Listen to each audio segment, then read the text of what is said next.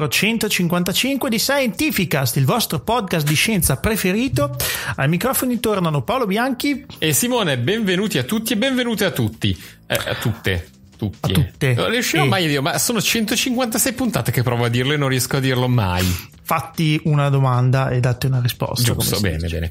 Eh, abbiamo ripreso la programmazione standard Dopo, sì. setti- dopo, due settimane fa che siamo saltati, quindi state tranquilli, adesso vi garantiamo di continuare, salvo imprevisti come, come la volta scorsa, quando Vabbè, era successo so- tipo un dramma. Sì, eh, Pint of Science, tu che cambi lavoro e una trasferta mia tutte insieme. Esatto, eh, perché vabbè, cioè, ragazzi, tu, tu, tu, eri, tu, tu eri. Dove sei andato in trasferta? Sono andato dappertutto. Sono stato in Austria, in Spagna, in Olanda. E tutto questo a cavallo del weekend. Esatto, esatto. Dopodiché, cioè. dopodiché, io ho cambiato lavoro, invece mi sono trasferito a Genova a lavorare all'Istituto Italiano di Tecnologia e contemporaneamente Il c'era. Il giorno in cui hai iniziato a lavorare lì. Esatto, è, è iniziato Pint of Science a Pavia, tra l'altro. Quindi, e io che corro coordinavo qua a Pavia, quindi effettivamente Mancava, è stato... Sì. Sì, Mancavano ma... solo le cavallette praticamente. Sì, le locuste, mancavano esattamente solo le locuste e poi avevamo praticamente tutto. Aggiungiamoci ma poi il qui... fatto che... Eh. Sì, no, dimmi. No, niente, no, aggiungiamoci poi... aggiungere? Niente, che il tempo era brutto quel weekend lì. Ah beh, comunque, vabbè. Eh. Sì, vabbè, comunque eravamo eh... tristi. Ad ogni modo, siamo qui e vi ringraziamo perché qualcuno preoccupato ci ha scritto un paio di settimane fa dicendo ma dove siete, che cosa state facendo, perché non è uscito sì, il podcast, sì, sì. cioè siamo un punto fisso delle vostre giornate, il che ci riempie d'orgoglio e ci preoccupa anche un po', nel senso che se, se noi siamo dei punti di riferimento ai, ai, noi accidenti, povera Italia. Perché, perché cioè, siamo eh? proprio, proprio Italia come ridotta che utilizza dei cretini per, come punto esatto. di riferimento. Vabbè, è vero, si potrebbe effettivamente ragione. Però vabbè, vi ringraziamo perché effettivamente fa piacere sapere che vi manchiamo davvero. Noi ci sentiamo sempre in colpa quando saltiamo una puntata, però insomma diciamo che... Ehm, non potevamo esatto. fare altrimenti, cioè, cioè giuro, esatto. giuro, che ci abbiamo provato in tutti i modi, eh, ma non, sì, non sì, ce l'abbiamo fatta. Ma non facciamo eh. una tragedia, dobbiamo ringraziare anche un po' di cose. Dobbiamo ringraziare gli amici che ci hanno scritto e che ci hanno mandato massaggi vocali, ma che ahimè non eh possiamo sì, mettere non in puntata mettere... perché non hai più credito sul telefono. No, non è che non ho più credito, è che si è scaricato proprio il cellulare, cioè proprio la batteria. Ah, okay. Dovete sapere, adesso vi racconto questa cosa, che Scientifica è talmente pieno di soldi che io sto usando tipo un telefono della Samsung di prima generazione, quelli i primi touchscreen, la cui batteria dura esattamente 25 minuti. Quindi voi potete praticamente mandare i messaggi e tipo io li io accendo una volta ogni tanto e verifico quali messaggi ci sono, perché altrimenti dopo 25 minuti è già scarico di nuovo. Quindi è difficile mantenerlo carico. Quindi io mi ricordo con largo anticipo di metterlo sotto carica, anche perché la batteria dura 25 minuti, ma la ricarica ovviamente dura tantissimo. Quindi, eh, insomma, eh, questa volta è andata così. Allora, eh, in tema di ringraziamenti, per entrare poi nel vivo dell'episodio, noi devo, dobbiamo ringraziare i ragazzi del master della scuola di giornalismo Walter Tobagi dell'Università degli Studi di Milano. E voi chiederete mm-hmm. perché? perché? Perché nel loro speciale Scartiamo il web mm-hmm. della, della, rivista La Sestina, che è una rivista che gestiscono per il loro master, hanno dedicato ampio spazio al podcasting, al podcasting mm. americano, a come si sta sviluppando in Italia e hanno avuto del buon tempo tempo nell'intervistarci in particolare il buon Gioele Anni, che io conosco per mm-hmm. altre questioni, mi ha contattato e diciamo che abbiamo fatto una bella chiacchierata su come eh, si sta sviluppando il podcasting in Italia, come si è sviluppata all'estero e insomma co- come, come, guadagnarci, come, come, in qualche modo diciamo gestire questa cosa eh, che, che, di fatto è stato uno dei primi strumenti on demand che sono, sono, sono comparsi sul web. Abbiamo portato la nostra esperienza di Scientificast e io vabbè la mia esperienza di decennale di podcaster e il tutto diciamo è stato ben confezionato in un bel numero molto esaustivo e interessante con un sacco di approfondimenti vengono intervistati ovviamente ovviamente anche altri si podcaster. trova online, giusto? Sì, sì, sì. Okay. Anche altri podcaster come eh, Francesco Costa, ad esempio, di, di Piano P E sì, si trova online. Noi vi mettiamo il link nelle note dell'episodio e io riceverò anche una copia cartacea. Comunque, sì. la conclusione è: non fate come Scientifics. C'è tutta questa analisi per dire poi voi no, così no, non fate perché così no, non si guadagna e così no, non si fa podcasting. Credo. No, non è vero. C'è il problema del, del. allora, noi, a parte il fatto che guadagniamo, eh, nel senso, tra virgolette, perché siamo un'associazione senza scopo di lucro, però cioè, in Italia, no, diciamo, non, non siamo ancora ai numeri. Diciamo, uno volesse fare un podcast e guadagnarci dei soldi in Italia, cioè, ci, ci tira giusto fuori le mancette. Mm. Cioè, per dire che Francesco Costa, vice direttore del Post, è riuscito a pagarsi il viaggio durante la, le presidenziali statunitensi. Vabbè, sì, Vabbè. ha tirato su un po' di soldi, però è Francesco Costa in eh, primis. Cosa pretendeva, scusami, eh, adesso, adesso non è che... Non è... Vabbè, ma non è che cosa pretendeva, scusami, eh? mica tutti sono no, Chiara chiaro. Ferragni che riescono a fare soldi indossando chiaro, le scarpe ma manco altrui. Fa- Chiara Ferragni probabilmente potrebbe fare soldi con i podcasting, ma d'altronde anche i nostri amici youtuber non faranno più molti soldi perché no, vabbè, come abbiamo eh, raccontato un po' di settimane fa sì, Google sì, sì. ha messo una stretta fortissima e vabbè, eh, giusto, li salutiamo scusami. tanto e piangiamo notte e giorno eh, io continuo a pensare che sia giusto insomma se dici cazzo non devi andare non devono ascoltarti i bambini esatto. Ciao okay. bambini. ciao bambini. Allora introduciamo il primo pezzo di questa puntata numero 155 un mm. paio mm. di settimane fa eh, il nostro buon Daniele Molaro mm. eh, ci ha coinvolto in, un, eh, in, un'iniziativa molto interessante che si chiama Science Marathon. Si tratta diciamo di un festival scientifico di due giorni presso il liceo Pesenti di Cascina in provincia di Pisa con laboratori, spettacoli, conferenze, concerti, tutti dedicati alla scienza. Noi siamo stati media partner di questa iniziativa. Sì, organizzatore principale diciamo è Be Kind. Sì, Be Kind Science Co che diciamo, è un'associazione della quale Daniele fa parte uh-huh. e con la quale insomma collaboriamo saltuariamente. Abbiamo collaborato in questa occasione. Ci ha fatto molto piacere. Daniele ha realizzato tutta una serie di interviste che noi quindi vi andiamo a proporre.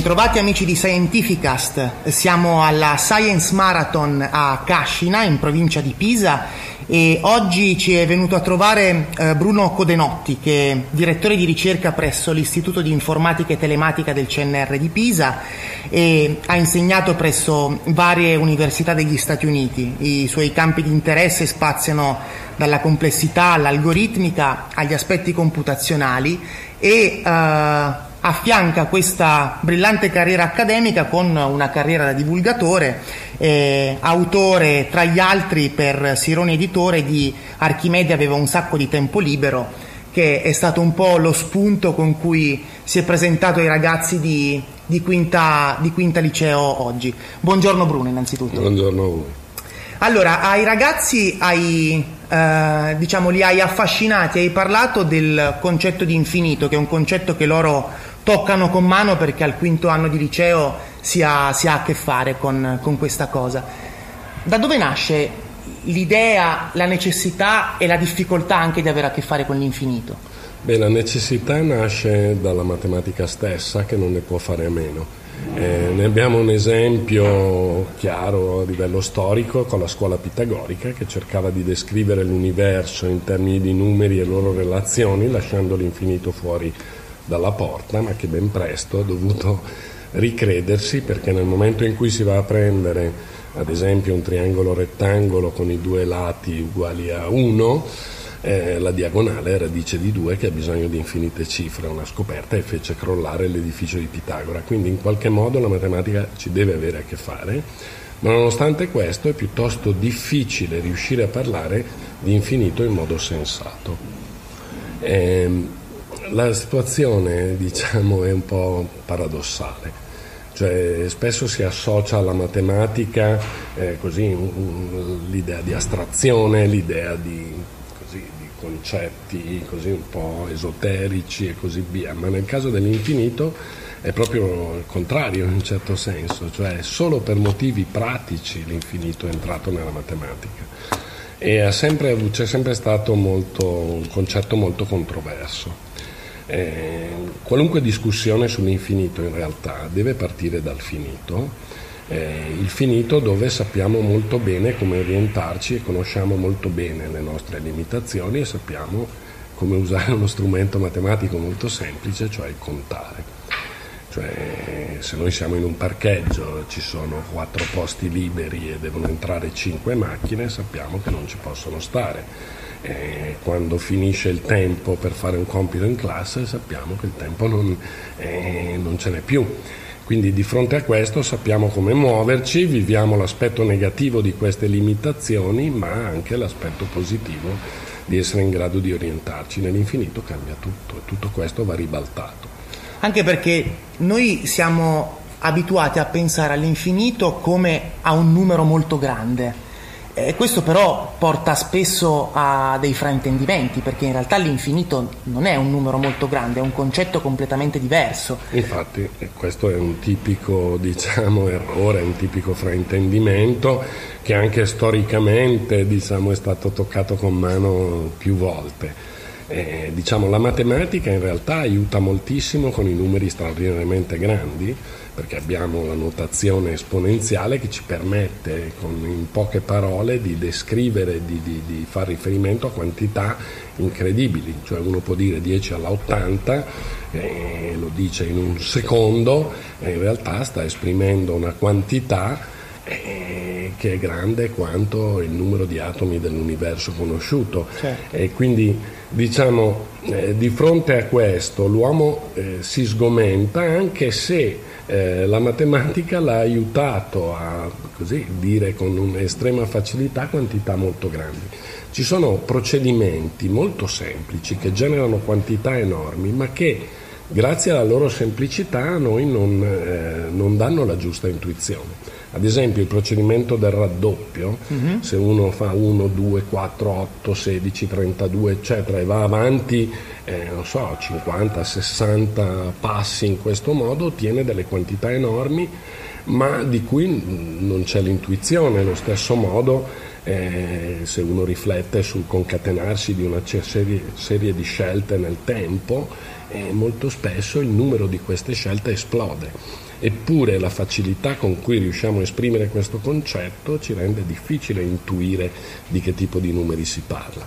Quindi nel momento in cui la matematica aiuta con le quantità straordinariamente grandi, ci si può chiedere, ma ci può aiutare anche con il Lei ci ha tracciato una cronistoria del concetto di infinito che parte dai pitagorici e arriva fino ad un importantissimo matematico dell'Ottocento che ha avuto il grande merito di eh, permetterci di parlare finalmente di infinito in maniera rigorosa e formale. Il problema dell'infinito in matematica, un problema così controverso, ha trovato la sua definitiva sistemazione con il grande matematico Cantor che se ne è occupato nella seconda metà dell'Ottocento. Cantor ha risolto un problema che due secoli prima eh, si era trovato di fronte Galileo, il quale aveva osservato che se da un certo punto di vista è chiaro che gli interi positivi sono di più rispetto agli interi che sono anche quadrati perfetti, d'altro canto è possibile mettere questi due insiemi di numeri in corrispondenza biunivoca mettendo ogni numero, associando ogni numero al suo quadrato e ogni quadrato ha la propria radice positiva che esiste, è unica ed è un intero positivo. Quindi possiamo asso- fare questa associazione nonostante esistano interi positivi che non sono quadrati perfetti.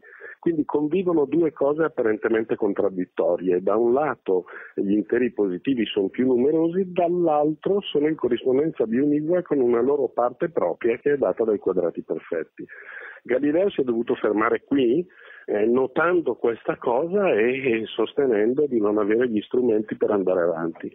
Infatti si sono dovuti attendere due secoli perché questo grande personaggio, Georg Cantor, riuscisse lavorando in isolamento e senza diciamo, la condivisione della comunità scientifica a trovare il modo di parlare in modo coerente di infinito, proprio utilizzando questo strumento delle corrispondenze bionivoche. Grazie, grazie anche per questa cronistoria. Ringraziamo ancora eh, Bruno Codenotti, vi ricordiamo in libreria eh, Archimede aveva un sacco di tempo libero e ci auguriamo di averlo eh, di nuovo ai nostri microfoni. Grazie Bruno. Grazie a voi. Bentrovati amici di Scientificast, sono ancora Daniele Molaro qui alla Science Marathon a Cascina, Pisa Secondo giorno di maratona è il turno delle scienze della vita, in particolare della genetica, e siamo onorati di avere ai nostri microfoni eh, Silvano Presciuttini, Anna Maria Rossi e Sergio Tofanelli, genetisti e antropologi dell'Università di Pisa, che oggi hanno incantato, devo dire, la platea di ragazzi del, dell'Istituto Pesenti con un intervento sul DNA e sulla genetica e sulle eh, diciamo, eh, sugli utilizzi e sulle ripercussioni che lo studio della genetica ha al, al giorno d'oggi. Ecco, innanzitutto benvenuti, buongiorno a tutti.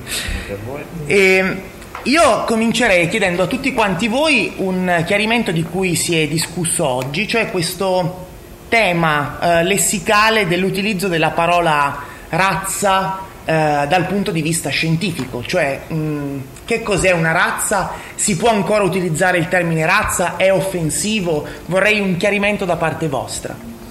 Sì, io comincio io, Silvano Presciuttini, piacere di, di essere qui. Eh, è interessante questa cosa proprio eh, linguistica, nel senso che noi abbiamo una parola unica, razza, che usiamo sia in senso generico, no? per indicare un'ascendenza, ma nemmeno un'appartenenza a un gruppo. No? Eh, io sono di un'altra razza, sono Bombarolo, è un verso di, André. Eh, ma, ma, che razza di imbecille sei? Eh, una, è, quindi è un termine generico, però utilizziamo la stessa parola anche in senso tecnico, scientifico, per indicare le razze degli animali addomesticati e in particolare le razze degli animali domesticati perché non si usa invece la razza in senso tecnico dal punto di vista evoluzionistico. Mm-hmm, certo. Dal punto di vista evoluzionistico ne parliamo di sottospecie. Solo per gli animali che hanno delle razze allevate, i cavalli, eh, il, i bufali, potremmo parlare di razze, ma in genere non si usa.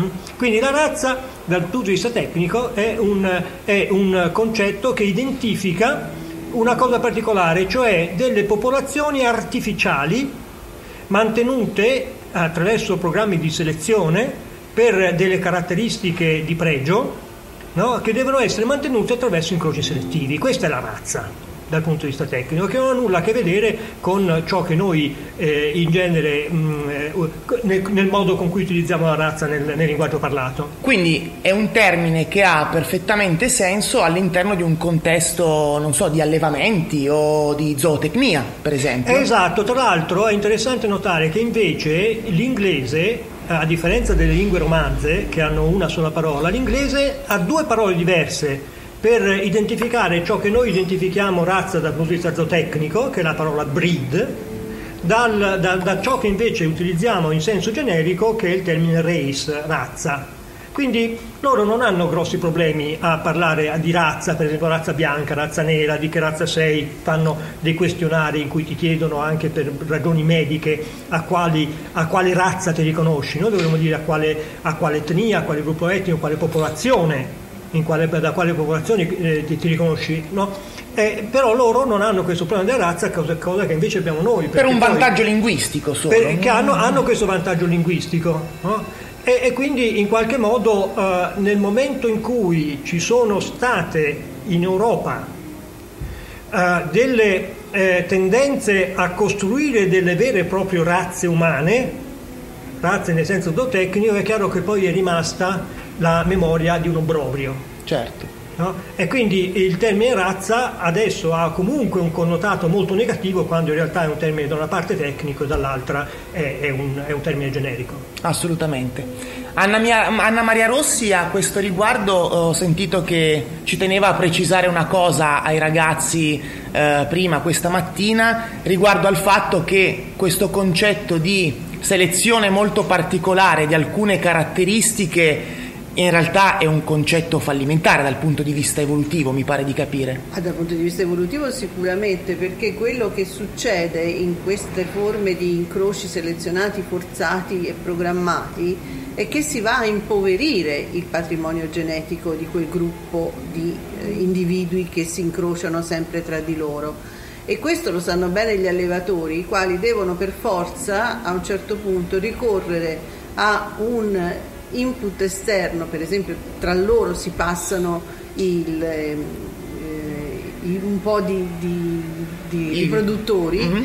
perché se si spinge all'estremo il processo di selezione, si, si mh, mantengono quelle caratteristiche desiderate che sono quelle di cui parlava prima Silvano, che può essere per esempio la capacità di produrre una grande quantità di latte come nel caso delle mucche oppure del, eh, una buona qualità di carne. Ma insieme a queste caratteristiche si selezionano molto spesso dei geni negativi, cioè si vanno a portare in omozigosi, cioè in doppia copia, dei geni negativi. E i geni negativi hanno questa caratteristica che molto spesso sono di tipo recessivo, si dice in termine tecnico, perché ehm, sono dannosi soltanto quando sono entrambe le copie del, del, del gene sono eh, difettose, altrimenti sono ben tollerate. Cioè anche una sola copia di un gene funzionante può mantenere la funzione. Allora, se eh, questo processo viene spinto all'estremo, porta a queste conseguenze. D'altra parte, nelle popolazioni umane il piccolo eh, gruppo, esistono dei piccoli gruppi di eh, individui che non, non, si incrociano in modo eh, pammittico, si dice inter- tecnicamente, ma che si incrociano sempre all'interno dello stesso gruppo, per esempio perché sono isolati in montagna o, o su un'isola, eh, una piccola isola, oppure per motivi religiosi come nel caso degli Amish in America, eh, e in queste popolazioni si vede un aumento delle malattie genetiche o dei difetti genetici in grandissima quantità. Nel tempo si portano questi, questi geni dannosi, si portano in omozigosi e, e, questo comporta un impoverimento, un impoverimento cui, eh, a cui fa da contraltare quello che eh, anticamente veniva chiamato il vigore degli ibridi. I primi ad osservare erano stati coltivatori di piante che avevano osservato che gli ibridi erano più vigorosi che non le razze pure e avevano quindi stimolato quella che poi anche oggi è tuttora una eh, pratica commerciale di eh, produrre gli ibridi per avere frutti più grandi o semi più grandi piante più vigorose, piante più sane, piante più resistenti alle eh, intemperie e così via. Quindi la diversità e la variabilità sono valori non solo morali, sono valori... No, no, no, no dal punto di vista evolutivo sono valori concreti, cioè la sopravvivenza di una specie, non parliamo della sopravvivenza dell'individuo perché questo dal punto di vista evolutivo è irrilevante, ma la sopravvivenza di una specie dipende dalla sua ricchezza genetica, la sua ricchezza genetica sta nella variabilità non nella omologazione. Grazie. E Sergio Tofanelli invece ha eh, diciamo, mh, consigliato i ragazzi su quali sono le nuove ultime strade che la genetica sta percorrendo in questo momento, siccome molti dei ragazzi presenti erano, mh, frequentano l'ultimo anno degli studi superiori, si affacciano al mondo dell'università e quindi eh, lei ci parlava di appunto nuove professioni che si sono fuse insieme e, e che in questo momento sono mh, diciamo eh, ricercate da tutti i centri di ricerca e le aziende europee. Eh, vuole mh, parlarci di questo aspetto? Sì, eh, ho detto ai ragazzi che eh, quando vado a, a, vedere quelli che sono le, eh, gli avvisi di lavoro che giungono dall'estero soprattutto, ma anche in parte in Italia, la figura professionale che viene richiesta è soprattutto in biologia e scienze della vita, sono soprattutto biologi molecolari che hanno un background anche bioinformatico. Questo perché la, la, biologia adesso ha affrontato una rivoluzione vera e propria che è iniziata con la sequenza del genoma umano e che poi si è eh, accelerata con eh, l'innovazione tecnologica data da eh, piattaforme che sequenziano in massa parallelamente i genomi umani. Quindi adesso abbiamo informazioni su 100.000, milioni di genomi umani completi. Sequenziare Quindi, il genoma umano è una pratica facile adesso? Mm-hmm. Non è facilissimo, però è eh, a buon mercato. Mm? Eh, ci sono ormai dei centri che lo fanno in pochi giorni. Chi, chiunque di noi può farlo, cioè, se io vo- volessi farlo posso rivolgermi a un'azienda e sì, ognuno fare. di noi lo può fare, eh, ci sono dei prezzi variabili, ecco, se uno vuole fare un sequenziamento di genoma umano completo ad alta risoluzione, perché dipende anche dalla risoluzione, mh, hm, molto importante, può accedere alle sue alle informazioni come ho fatto io del resto con circa 1000-1500 euro adesso. E chiaramente questi prezzi sono destinati a abbassarsi ancora di più.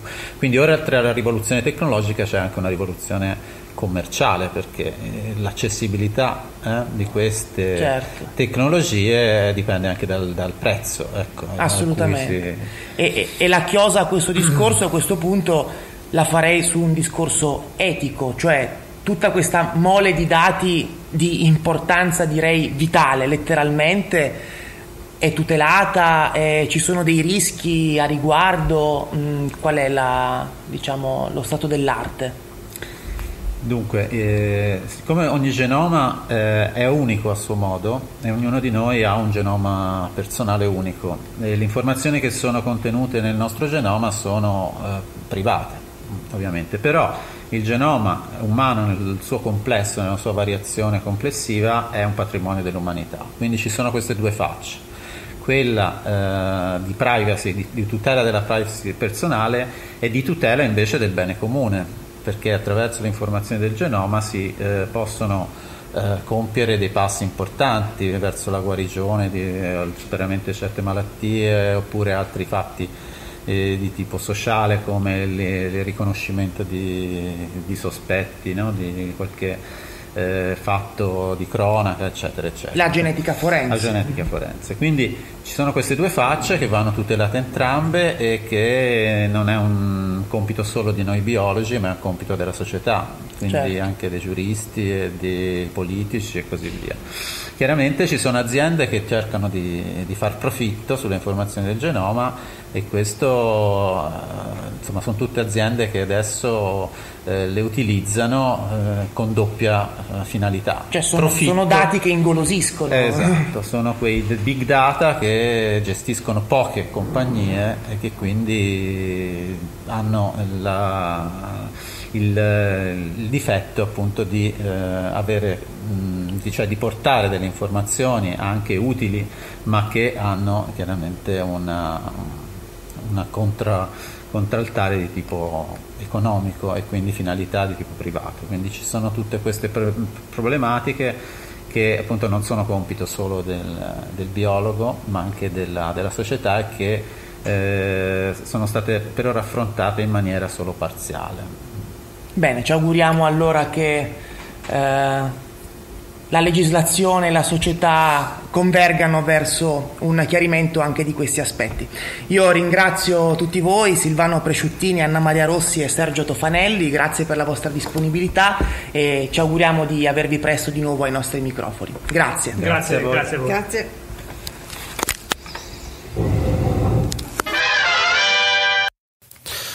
E grazie Daniele. Allora, noi potremmo fare polemica in questo momento e dato che siamo mancati per un po' potremmo fare polemica sui vaccini, tanto per esatto, cambiare. Sì. Più che altro perché, eh, evviva, c'è il decreto ministeriale per l'obbligo vaccinale. Sì, ma eh, diciamo che ci sono ancora un po' di matasse da dipanare. Cioè, ecco, voi avrete seguito la polemica in, questi, in queste settimane, sì. no? Cioè, il punto è uscita questa legge, questo decreto legge che dice, ah, ah adesso andiamo giù pesante contro gli, gli antivaccinisti protagonisti, che che bello, cioè nel senso, cioè, eh, eh, va bene. Sì, cioè siamo andati avanti fondo, sì. cento anni a dire che gli antivaccinisti dovevano, non, non, meritavano di avere i figli.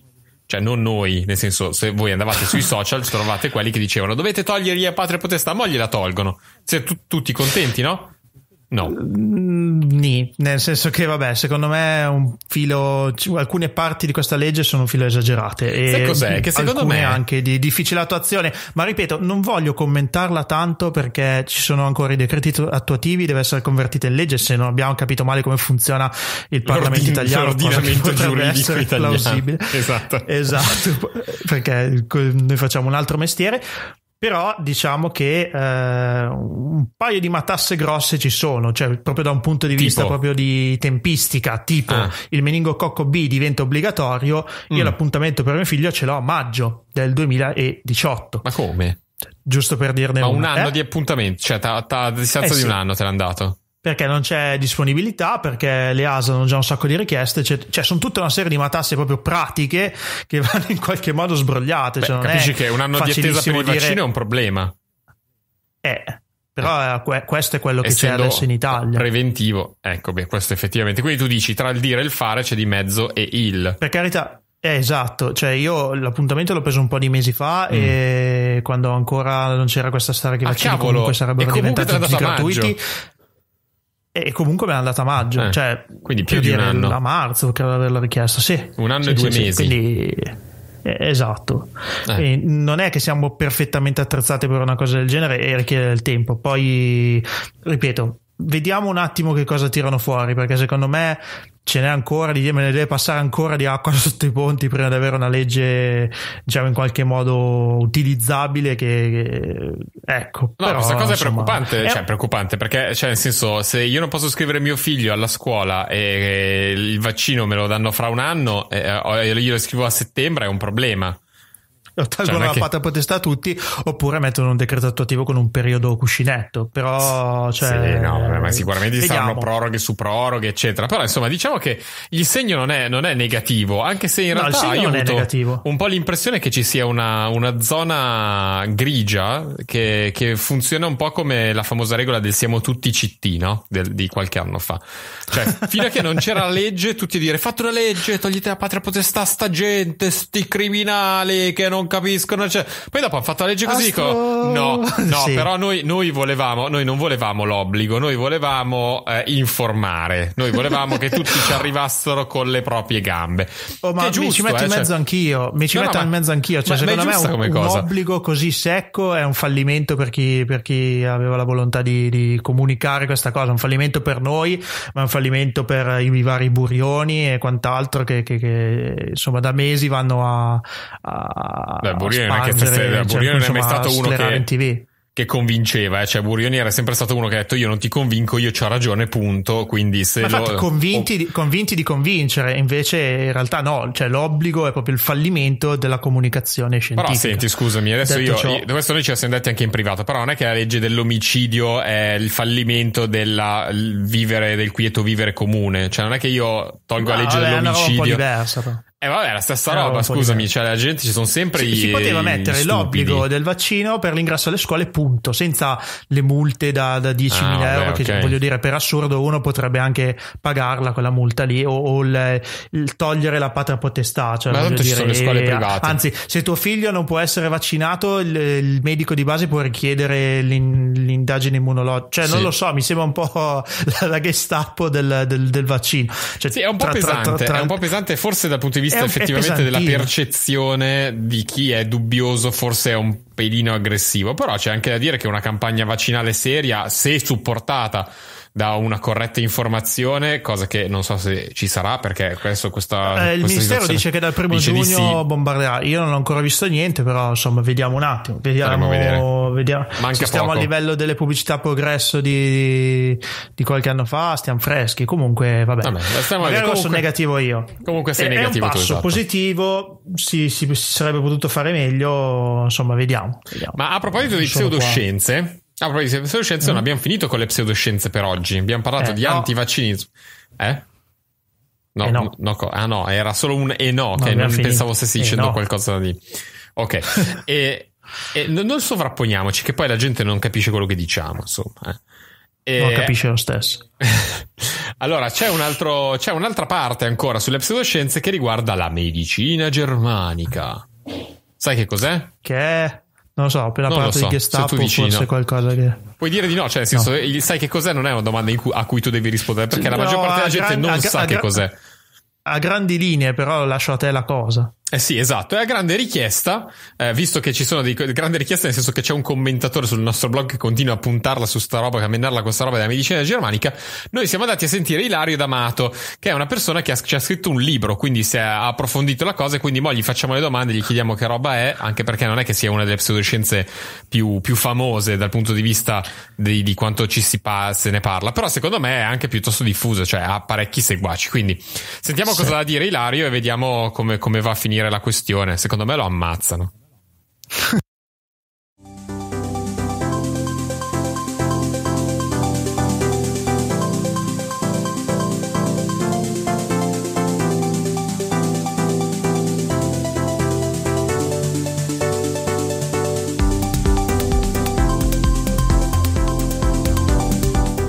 È con noi Ilario D'Amato che ha scritto un libro intitolato Dossier Hammer e che parla della nuova medicina germanica, edito da Mondadori. Ciao Ilario. Ciao Simone.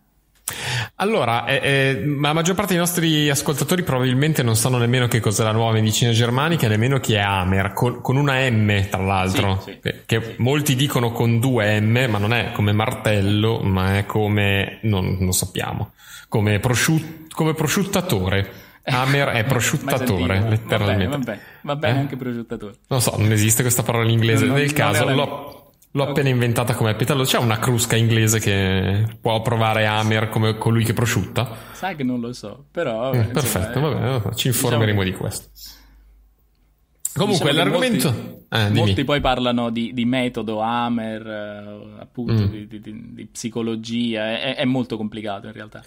Vabbè, vabbè, senti, in due parole, faccio una descrizione di che cos'è questa nuova medicina germanica. Tra l'altro noi avevamo un commentatore che ci sponsorizzava la medicina germanica sotto i post del blog, quindi a questo punto vediamoci un po' chiaro. Dimmi chi l'ha inventata e che, che cos'è.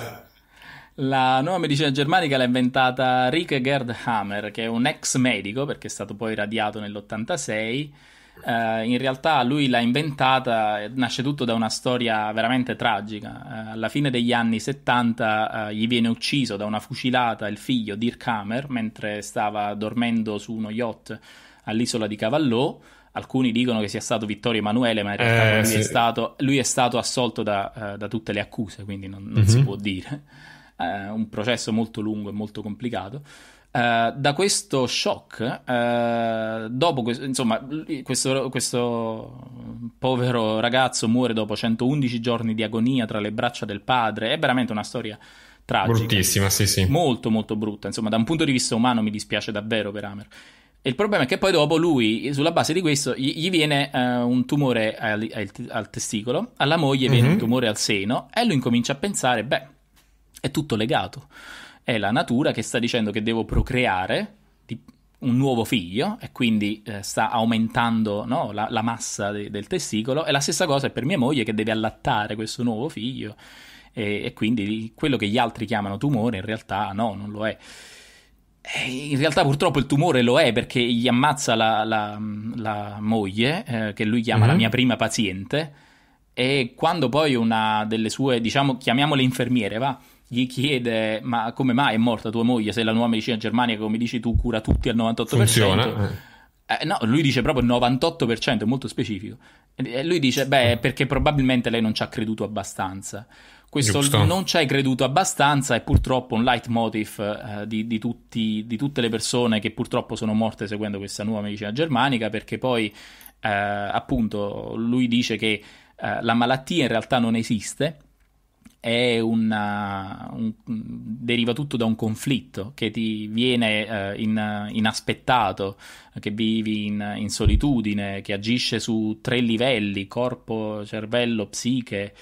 Uh, insomma, è, è, purtroppo uh, le, le, storie che, che ho raccontato, la storia di Hammer, che è documentata da, um, da varie... Da, lui, lui ha collezionato uh, in tutta Europa uh, condanne, quindi ci sono sentenze francesi, tedesche, austriache. E la storia di Hammer di- dice che tutti quelli che si sono affidati a lui sono purtroppo morti. e morti anche male, nel senso ci sono testimonianze appunto a processo eh, che dicono che c'erano persone che la notte sbattevano la testa nel muro perché lui non dà morfina perché appunto la morfina è un oppiaceo che ti porta alla morte in tutti i casi e questa è una cosa che tra l'altro dicono anche tutti gli americani, anche qui in Italia, ce ne sono, ce ne sono tanti.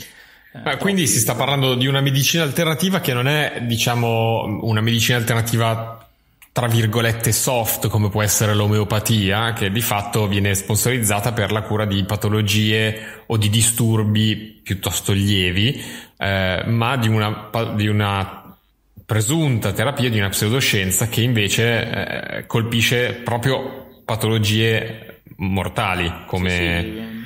come il tumore. Amer, purtroppo, per Amer, eh, diciamo, la sua nuova medicina germanica, le sue cinque leggi biologiche si applicano a tutto, perché lui dice che in realtà appunto la malattia non esiste, è una certo. sorta di benattia, perché appunto è questa risposta della natura a, al tuo conflitto.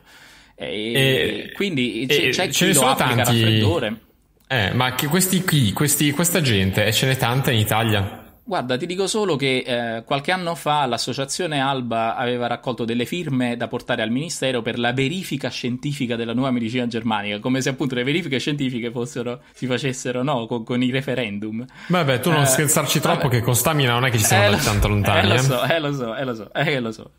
Ehm, avevano raccolto oltre 5.000 firme. E, sì, che non è pochissimo. Per me sono tantissime perché se, se, metti una firma sul fatto che vuoi verificare il fatto che, eh, non lo so, c'è il, il, focolaio di Hammer che tutti, tutti i radiologi ti dicono no guarda, quello è semplicemente un errore di calibrazione della macchina. Adesso infatti si vede di meno, certo perché le macchine adesso sono migliori, non si fanno più quegli errori, le calibriamo meglio. No, quello in realtà è un, è un relay che si attiva nel cervello, purtroppo... Sì ma quindi c'è gente adesso, visto che la, la terapia è, prevede di non trattare patologie serie come, come i tumori, ma qualcuno ci sarà, cioè, ci sarà morto di questa. Sì, sì. Di, di proprio t- tutto recente ciò. il caso di, di Marina Lallo eh, è stata poi, che purtroppo è morta. Lei aveva questa donna di Torino aveva un melanoma di pochissimi millimetri sulla spalla mm. e purtroppo è morta con, una, con metastasi in tutto il corpo, tra cui anche al cervello.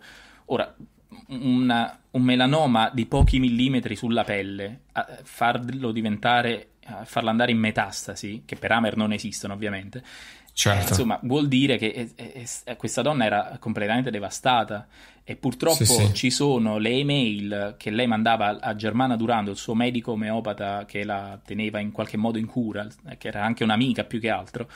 E queste email sono, sono tragiche, non c'è altro modo di dirle, fanno, fanno davvero venire la pelle d'oca.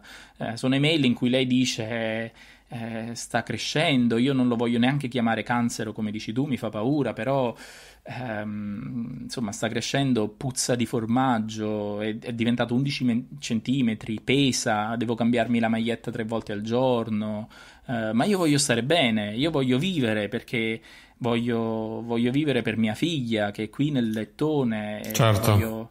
E purtroppo poi alla fine è morta perché appunto le diceva la, la, il suo medico, stiamo parlando di un medico che infatti adesso Uh, insomma, è stata condannata in primo grado, poi ci sarà il secondo grado, eccetera, eccetera, e poi l'ordine dei medici di Torino già si è costituito parte civile, poi quando ci sarà tutto l'iter processuale faranno anche loro, l'ordine, uh, una, un'indagine per vedere insomma se cacciarlo o meno quando appunto... Sì, è curioso, curioso, che l'ordine debba aspettare un processo con i tempi eh, che hanno guarda, i processi eh, per poter so, allontanare perché... un medico che nel frattempo può continuare a esercitare. Poi, per carità, poi so. la, no, sarà no, giustizia no, analizzare il caso, non voglio, fare, non voglio fare l'avvocato del diavolo, però insomma, eh, diciamo che eh, da un punto di vista legale loro eh, sono, eh, hanno un po' le mani legate, nel senso che metti caso che poi in terzo grado di giudizio Germano Durando viene assolta e allora sì, sì. per quale motivo certo. l'hai cacciata? E quindi passi guai in qualche modo. Quindi diciamo loro devono tutelarsi. E io sono d'accordo con te da un punto di vista morale, però eh, purtroppo cioè, ci sono delle leggi, vanno, vanno a tutela di tutti. Magari diciamo i processi dovrebbero essere più veloci. E in questo caso, devo dire la verità, non è stato eh, lento, eh, insomma. E poi alla fine, appunto, eh, giusto per chiudere la storia, lei è stata condannata in primo grado ed è il eh, la punta di un iceberg, perché molto spesso queste persone che, che muoiono per colpa della nuova medicina germanica non parlano, prima di tutto perché sono morte loro stesse, ma certo. chi è stato vicino uh, viene in qualche modo colpevolizzato. Uh, ci, io ho ricevuto, ricevo decine di email in cui mi raccontano delle storie che sono allucinanti, sono veramente, veramente pesanti da un punto di vista pro- proprio personale più che professionale. E quando io dico va bene, perfetto, però purtroppo io, cioè, purtroppo io sono un giornalista, mi servono i documenti perché non posso scrivere no, così, è un, non è un romanzo, certo. la, la, mia è un'inchiesta. E, e, loro dicono no, ma non, non, ne voglio parlare perché poi sai, in fondo è stata colpa mia. E io non so che dire a questi genitori no, di, di, di, che hanno lasciato i, i, propri figli morire in quel modo atroce, senza morfina e senza niente, eh, perché alla fine io sai, eh, non, davvero non so che dire perché non, non, è stata colpa loro, nel senso che eh, purtroppo eh, la nuova medicina germanica è, eh, è, è, bella da un punto di vista no, uh, psicologico. Accattivante da un punto di vista di marketing. Io, io, vorrei che fosse vera. Io quello che dico sempre agli americani, no? Io pur, eh, appunto, sono un giornalista, mi devo basare su, sui documenti. Portatemi, per, per favore. Cioè, tu dici che sei, stato, che sei, guarito con Amer, no? Come la Brigliatori, mm. che dice che lei è guarita con Amer. La Brigliatori poi ogni tanto dice che è guarita con altre cose, però in, in, in un caso specifico aveva detto che era guarita mm. da un tumore che non si sa quale, eh, grazie ad Amer. E io le voglio credere perché sarebbe bellissimo. Eh, l'ho invitato certo. più volte a portare i documenti, e però nessuno porta mai i documenti. Quando parli con i medici che eh, applicano la nuova medicina germanica sui propri pazienti, dicono sempre: Ma stiamo studiando, stiamo vedendo. E la cosa più pericolosa che mi, mi, mi farebbe piacere sottolineare è che adesso in Italia gli americani sono decisamente più pericolosi di prima, paradossalmente perché si sono allontanati ufficialmente dalla terapia. Nel senso, gli americani in Italia uh, sono in piena rotta di collisione con uh, Hammer, che adesso è in Norvegia. Lui è andato in Norvegia perché era stato uh, accusato di istigazione al, all'odio razziale perché lui dice che la nuova medicina germanica viene applicata dagli ebrei che vogliono praticare l'olocausto sui non ebrei. In Germania ovviamente ah. hanno avuto un po' di problemi su queste cose, non puoi dire sì. una cosa del genere. No, no, Beh, non, non, non, è che non puoi dirlo in Germania, cioè non eh, dovresti poterlo dire eh, adesso. Ma qua vabbè abbiamo leggi un po' più larghe, ma in Germania sì. particolarmente insomma e quindi l'hanno, ehm, se ne è dovuto scappare in Norvegia dove, dove, sta ancora e continua a ricevere persone. E Amer qualche anno fa uh, è entrato in piena retta di collisione con l'associazione Leggi Biologiche, che era l'associazione eh, ALBA, um, che era un'associazione che raccoglieva appunto tantissimi migliaia di, di ameriani. Ed è, eh, insomma si è arrabbiato con loro proprio perché gli ameriani adesso in Italia dicono no, ma attenzione, Amer è una diagnostica, cioè noi ti diciamo, se hai la leucemia, stai vivendo un conflitto di svalutazione. Amer Giusto. poi ti dice, vabbè, e, e, quindi è anche una cosa bella, tra l'altro. Um, Amer ti dice che con la chemio tu muori al 98%, mentre se risolvi il tuo conflitto vivi al 98%. Poi però scegli tu, eh, mi raccomando, scegli tu, noi non ti, non ti imponiamo nulla. In realtà è una cazzata, perché ah, insomma sì. stai dicendo a delle persone eh, disperate con una pistola in mano, beh, se ti vuoi sparare, beh, sparati, sono, sono, fatti tuoi. No, non sono fatti tuoi. Poi la passano spesso liscia perché, eh, come nel caso di Mark Pfister, non sono neanche, cioè, non, non hanno neanche un diploma, quindi non sono perseguibili penalmente perché appunto non sono medici, quindi loro dicono, boh, ma io sto parlando, cioè loro vengono da me, io do consigli a a ruota libera. C'è stata una collega che è andata lì, una collega svizzera, Anna Bernasconi, che è andata lì da Mark Pfister fingendosi malata di, di tumore alla, mm. alla cervice. E, e, lui le ha detto: No, non ti fare nessuna chemio operazione. Che scherzi? Non, cioè, io ti consiglio di non farla. Uh, e in realtà tu stai vivendo un conflitto di, uh, del fatto che insomma tu vorresti essere posseduta di frustrazione, tu vorrei essere posseduta da vari uomini, non puoi e quindi ti sta venendo il tumore, insomma. Ma sai che mi ricorda un pochettino tutta la questione della Mereu? Beh, no, ci sono molti punti di contatto, però la Mereu alla fine dice due parolacce e, no, e, e, questi invece no, questi sono col cuore e le mani calde, loro ti, ti, ti, ti ingabbiano nella setta, ti allontanano completamente dalle persone che ti sono vicine e quindi è, è, è peggio perché la Mereu, insomma, cioè lo so che ci sono persone che ci credono, per carità, eh, c'è anche gente che crede alla terra piatta, però insomma come personaggio no, è un po' in qualche modo sgradevole, nel senso che è una persona no, è un po' eh, sui generis. Invece gli americani, una delle loro forze più grandi è proprio sul fatto che loro sono sempre no, accomodanti e sono sempre appunto dal, dalle mani e dal cuore caldo, quindi da un lato c'hai il medico curante che ti dice guarda purtroppo devi, devi farti, abbiamo, abbiamo, ricevuto le analisi, purtroppo non abbiamo buone notizie, è un tumore, eh, devi pur, purtroppo fare questo, questo, quest'altro, però non ti preoccupare perché insomma magari eh, facendo questo, facendo quest'altro abbiamo questo tot di possibilità di farcela, eccetera, eccetera. Dall'altro lato hai una persona che ti dice no ma non ti preoccupare, va, va tutto bene, è, un, è, la risposta del tuo corpo, ascolta il tuo corpo, prenditi una tisana, mettiti una... Eh, c'è stato un, uno dei casi che racconto nel libro, eh, una persona che aveva un tumore al cervello e io ho mostrato poi l'attack anche ad un medico e mi ha detto guarda insomma non, molto probabilmente comunque non ci sarebbe stato nulla da fare, molto onestamente. Però questa persona è andata avanti con impacchi di um, di ghiaccio sulla testa, sul, sul, relè, eccetera, eccetera, um, caffè, Coca-Cola, ribes nero, Però... e, risolvendo poi il proprio conflitto, eccetera, eccetera, e poi è morta. La cosa brutta è che eh, gli americani, tra, tra le tante cose brutte, eh, per carità, eh, ti negano la morfina. Quindi appunto ci sono le, le, le, testimonianze di queste infermiere che non erano neanche infermiere nel, nei suoi ospedali, che appunto non erano ospedali, in cui i malati la, la, notte piangevano, sbattevano la testa nel muro e lui era, era, quasi contento perché diceva no no no ma stanno guarendo perché la, la, nuova medicina germanica dice che tu insomma a un certo punto devi stare male poi cioè, risolvi il tuo conflitto e, e poi, poi tro- tutto andrà bene. Purtroppo no, purtroppo tutto va male, purtroppo queste persone muoiono, non tornano indietro a raccontarlo. E su internet invece è pieno di gente che si autodiagnostica un tumore, si autodiagnostica una guarigione e dice io sono guarito da un tumore, come appunto no? la, la Brigliadoi e tanti altri. Però appunto sì, sì. È, è, è pericoloso perché adesso anche da un punto di vista legale i medici che che usano la nuova medicina germanica dicono no, è solo un, da un punto di vista diagnostico, che non ha senso perché anche la diagnostica deve, deve essere basata sulla medicina delle evidenze, lo, lo, dice proprio il codice deontologico de, dell'ordine dei medici.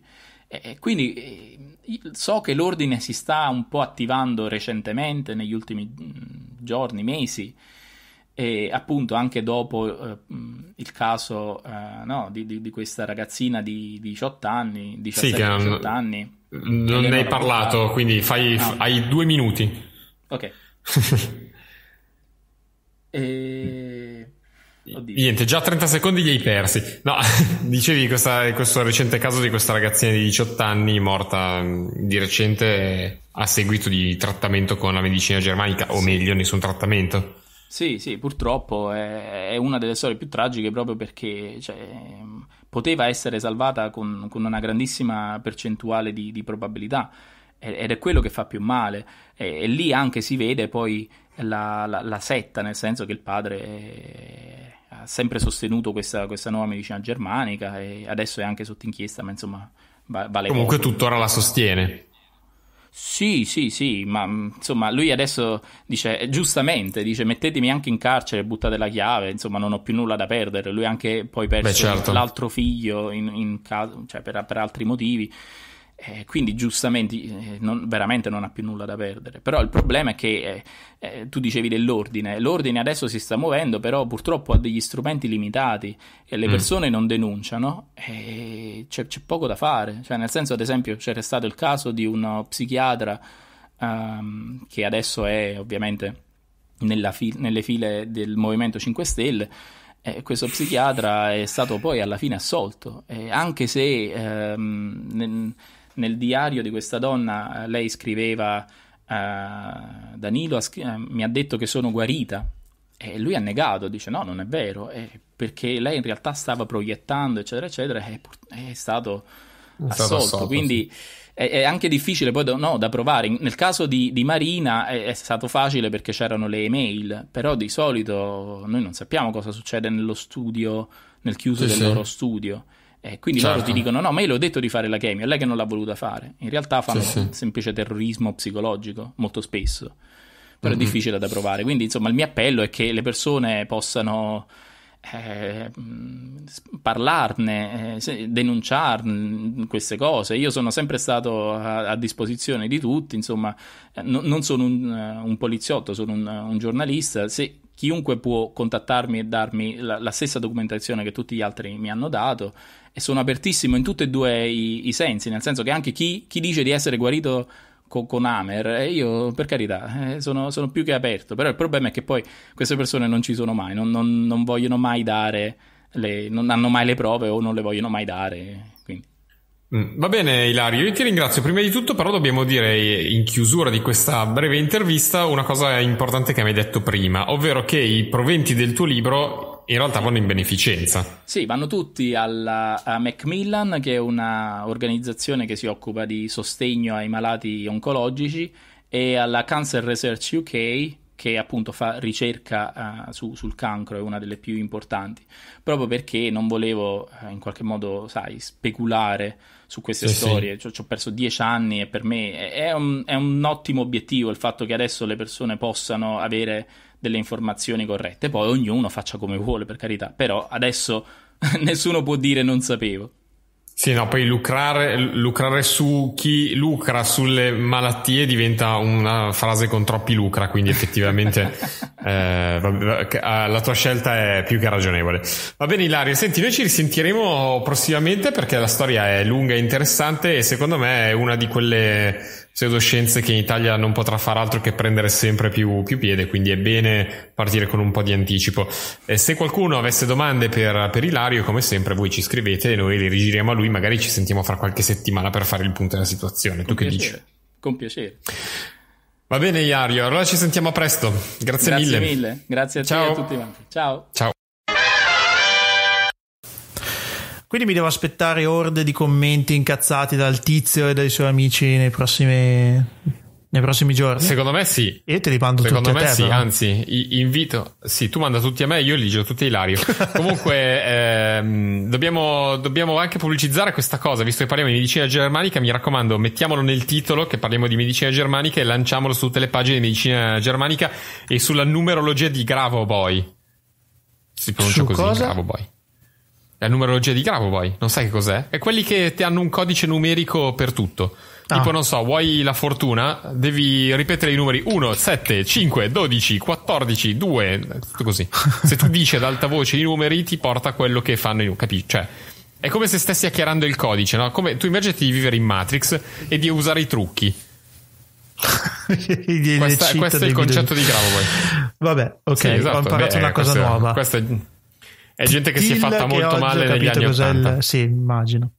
Immagino, immagino. Mm. Allora, siamo ai contatti di questa puntata numero 156, che non è che sono cambiati in questa Sì. puntata numero 156, No. ma sono sempre quelli, No. sono solo quelli che, che noi diciamo in questa. Vabbè, comunque, info chiocciola, scientific- Prometti che tipo su 150 puntate è arrivato uno che si è preso il foglio adesso e ha detto bene, adesso alla 156esima voglio veramente segnarmi i contatti. Esatto, allora Eh. prendi carta e penna, amico mio, e scrivi info scientificast.it, ci trovi su Facebook come Scientificast e anche su Twitter ci trovi come Scientificast e poi fondamentalmente ci trovi anche su Instagram ogni tanto e eh, sul nostro sito www.scientificast.it dove un- ogni Mhm. settimana pubblichiamo anche un sacco di pezzi molto interessanti dai nostri autori che Esatto. ogni tanto sentite anche da queste parti sul podcast, ma che eh, scrivono per la maggior parte un sacco di cose belle, fighe. Detto ciò, voi Esatto. potete anche sostenere. No, poi c'è, potete mandare. Potete anche mandarci un messaggio vocale, anzi voi dovete mandarci un messaggio vocale al numero che attualmente è spento, eh, ma che, ma che verrà riacceso tra poco, eh, che è 389 2596 538. Ah no, questo era quello di Paolo. No, è No, vero. è vero, è il numero di Scientificast. E io vi ricordo anche che potete sostenere la nostra associazione tramite Patreon con una donazione mensile da un dollaro in su. Mhm. Sempre molto eh, gradita la vostra donazione, Eh, facciamo buon uso ovviamente dei vostri soldi per fini assolutamente associativi e Certo. potete anche iscrivervi all'associazione Scientificast mediante apposito bottone che trovate nel nostro sito, già detto. Detto Mhm. Va ciò, noi ci sentiamo la prossima Sì. settimana. E vi Va salutiamo bene. tanto. Davvero? Sì, dobbiamo. Va bene, sperando che la gente non venga tolta la patria potestà perché non ha vaccinato i bambini. Cioè, voi- tra voi ascoltatori. Gli Esatto, altri sì. esatto. Ma voi ascoltatori no. Vi vogliamo bene. Vaccinate i vostri bambini comunque. Ok. Ciao. Ciao.